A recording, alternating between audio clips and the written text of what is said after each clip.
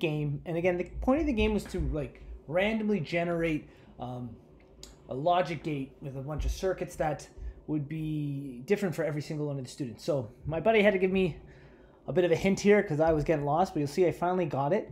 Um, and technically, in the last one, you could say there was four AND gates if you want. Um, I represented each of the rows in binary here. I used the symbols to represent uh, represent the types of gates. So we had an OR gate because I had well, one part right. I had a right color, but not in the right position. and the third round, I did the same. Finally, in the fourth round, I got an AND gate. I got the right color, this guy here, and he was in the right position. And then two AND gates, two AND gates, two AND gates. Sorry. And four AND gates. So the last step here is to take this game, which I've now kind of written a history of, um, and we're going to represent it. I'm going to shrink it a little so we have room here. But you can see I'm in Tinkercad in the circuits, and I'm going to start to try to represent it. Um, actually, these are AND gates I have here. So my very first round actually should have been an OR gate. So I'm going to bring in bring in this OR gate in my first round.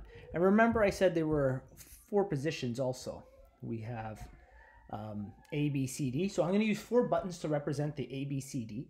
And the other thing I should point out, scroll over here, you could say round one is maybe OR and AND gates as, it, as they get more, um, as they get stronger with the logic gates. Then you could have uh, N AND gates and NOR gates, so not AND, not OR gates. You could do an XOR gate, and a NOT gate for the third one, and then repeat that. Because there's 12 rounds, you could have like a repeating process. The students will have to kind of have an awareness of what those are. Um, but I just stuck with OR and AND gates to, to show the simplicity of this. So I have my OR gate here. I'm going to need four buttons.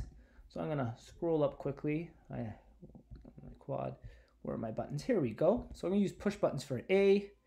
We'll call that A, B, C, and D. Okay. And in my very first round, I actually only had an OR gate in the game, if you recall. I'll show you one more time. I only got one OR gate. I was only able to get a, a color in the wrong spot.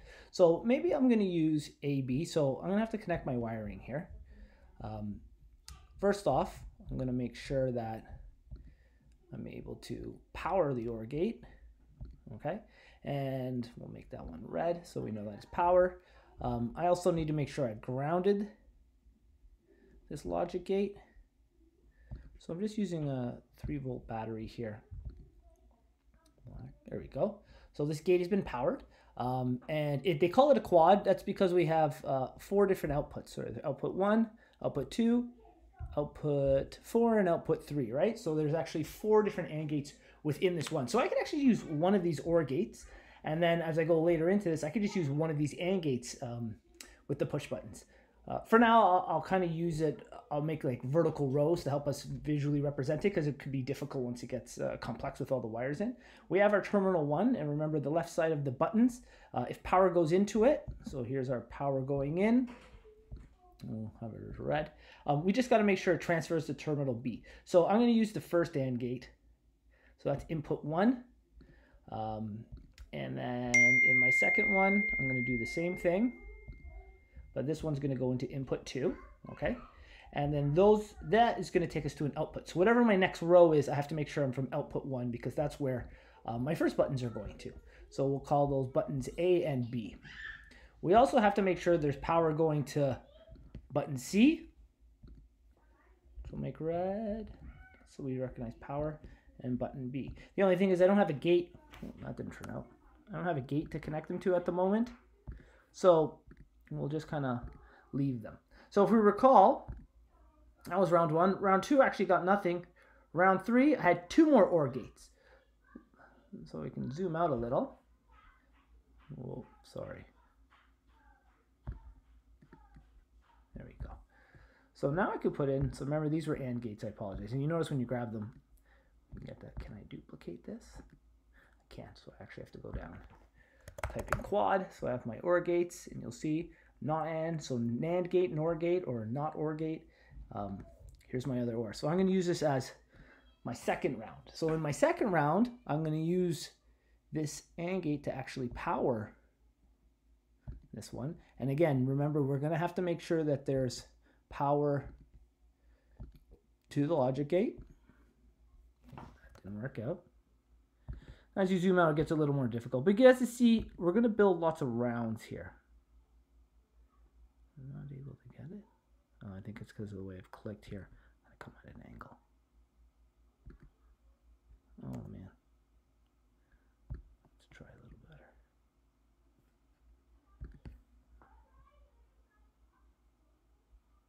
There we go. Hey, got it. Um, I had to go right through it, unfortunately. And so, I mean, this part will be a little tricky. Let's ground this. Perfect. It's been grounded. So we have our black. Okay. So um, you'll see my output for my first AND gate is actually one of the inputs. Actually, I'll leave it as green. We'll say from the from the logic gates, we'll leave those as green. And then maybe button two, um, and I can technically have it from this wire here or this wire here. It doesn't technically matter. That could be my other input. But maybe I want C. So I want my input from my other AND gate to be C. So they're going to have to draw this out. They're going to have to make their own sketch of it also. Um, but just keep that in mind. And now that's powering my OR gate. And remember, we'll have to have the output from that OR gate for my second round. And then my third round. And again, this game could have 12 rounds. So you're going to really build a complex gate as it goes and shifts. Um, I finally got an AND gate a little later in there. So let's get that AND gate. There you go. I finally got an AND gate in.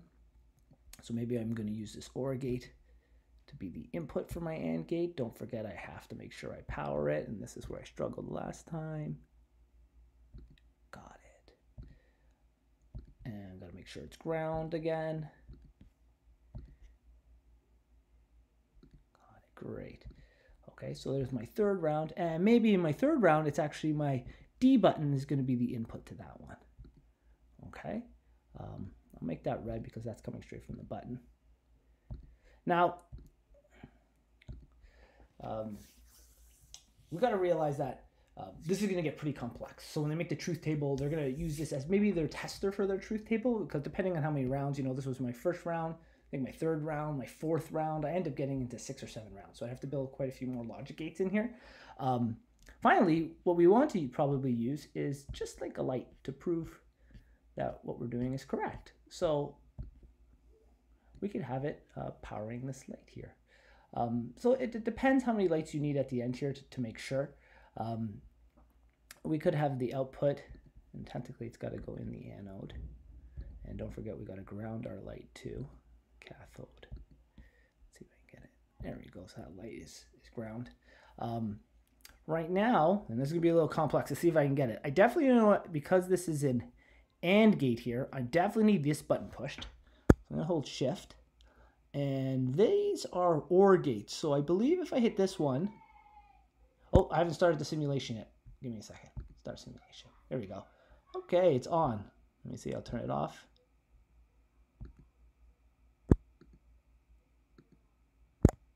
There you go. So they're both off. Um, so he's on. Ah, sorry, I gotta zoom in to see. I can't see my light. Mm, that'll make me have to redo this after. Anyways, um, here's the idea behind it. I'm not holding shift. That's probably not helping. And I need this one for sure. Oh, I had it going. I don't know what I did wrong. Um, anyways, that's what makes this somewhat difficult. We've got to figure out all of our, our little steps here. So the game is to randomly generate um, kind of a, a, circuit board, let's say with a lot of AND and OR or NOR, XOR gates. And then you can test your truth table by, by clicking this. And this is all essentially by um, archiving your game in Mastermind. So you archive Mastermind and then you're going to build your, um, I guess in a sense, of your circuit board here to, to, use your light to see what the outputs uh, what the outputs are when you change your A, B, C, and D inputs.